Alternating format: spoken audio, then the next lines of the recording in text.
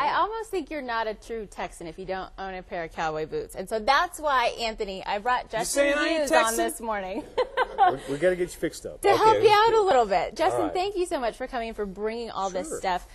I need, you know, if you haven't noticed, this show's kind of cowboy themed, and you need the proper outfit to be a good cowboy. So, what did you bring for Anthony this morning that can kind of give him the look?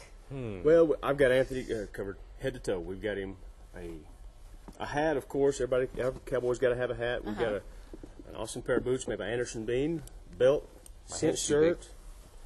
Got Now, a big head. here's what I love about cowboys is you boys know how to accessorize. I will say yeah. that belt is amazing, and you're not afraid of jewels, which I appreciate as well.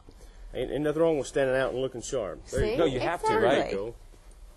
You know We're what? gonna when, dress you up. When Elvis This was in concert, you know, he had the uh, glitter on his belt and gold and everything. He said so Uh-huh. people in the back of the auditorium could see it. That's right. See, So you got to got to be able to have somebody see you. and it could double as a weapon if you needed to. you we you could take it out and whack sharp. someone with All right. it. right, y'all keep chatting. I'm gonna put this Okay, bad boy so on. So what kind of shirts are these? These are gorgeous, by the way, and lots of details on them too.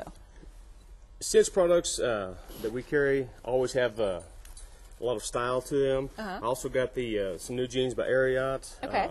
I didn't want to leave the ladies out. so No, we didn't forget about the women. What we are know, these? We know how you girls are. We, uh, these are the Corral vintage. Okay. Uh, square toe boots that a lot of ladies like. I also got a. Of course, you girls got to have some bling, just like Of Anthony course, does. yeah. That's what I'm talking this about. is good looking, and there's fur on it too. I Oh, like yeah. it. A little bit of cowhide goes a long way, Uh-huh. right? And of course, the jeans with the bling on the back pockets. There oh, you yeah. go. I should have taken my shirt off and put this on. Oh man. then I could have shown my new tat man. again. Don't oh yeah. Uh, okay, so tell me, how do you, how does one go about picking out their first cowboy hat? Because there's a lot that goes into it.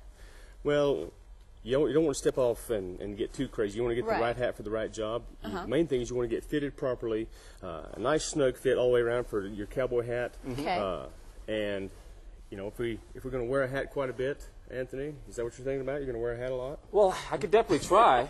My head's too big for that hat. I already tried to put it I on. saw that. My I big saw old, that. my big water head. Yep, here we go. I can put See? this on over this. Okay.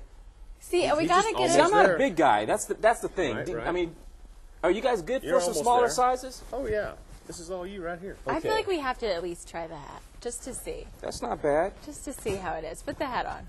Sin- I hope Sinclair Broadcasting approves this.